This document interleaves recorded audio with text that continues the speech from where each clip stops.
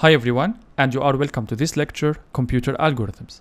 In this lecture, I'm going to define what an algorithm is. We will understand the difference between an algorithm and a program. Also, I will share with you a complete example about an algorithm. Finally, I will end up this lecture by a quick summary. So let's get started.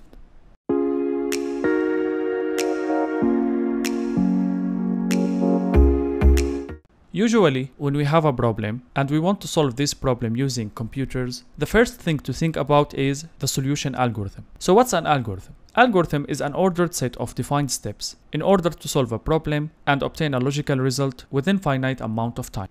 From this definition, we can understand that the algorithm represents the steps that should be implemented inside the program in order to solve the problem. Usually, we formulate any algorithm by defining the inputs, the outputs, and the steps that map the inputs into the desired outputs. Also, a very important point to know that when a problem can be solved using multiple algorithms, and over the time, you will get the required experience to know the best algorithm quickly. And usually, we compare between algorithms using different factors such as execution time. So for example, we say one algorithm is better than another if they achieve the same target but it requires less amount of execution time.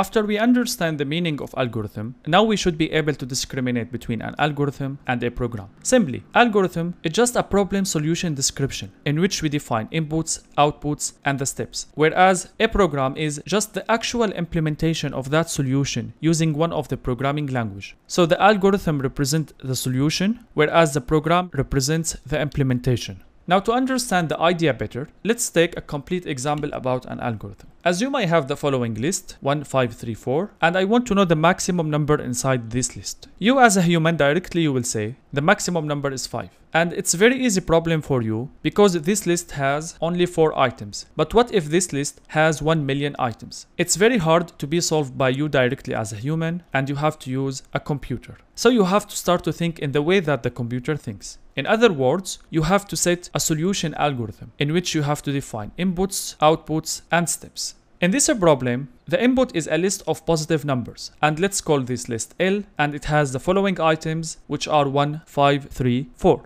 Whereas the output is the largest number in this list, and let's call this largest number n. The algorithm steps will be, first of all, I will set the initial value of n to be 0. Then for each number x inside the list, I will compare this number with the largest number which is n. If I find that x is larger than n, I will update the value of n by the value of x. I know that the steps could be not very clear, so let me explain these steps visually.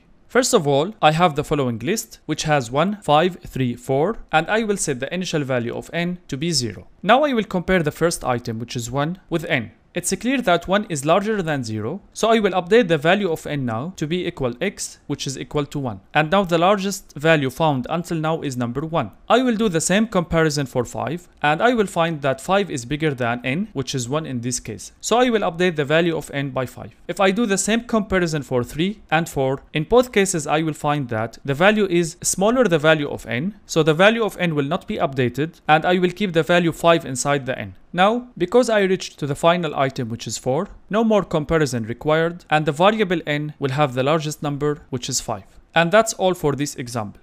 Now let me summarize what we have learned in this lecture.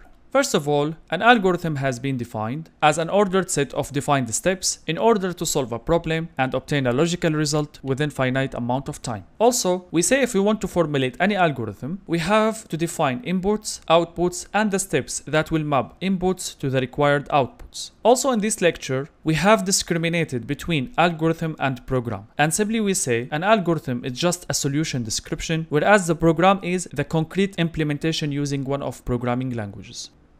That's all for this lecture. Thank you very much for your time and if you are available, join me in the next lecture.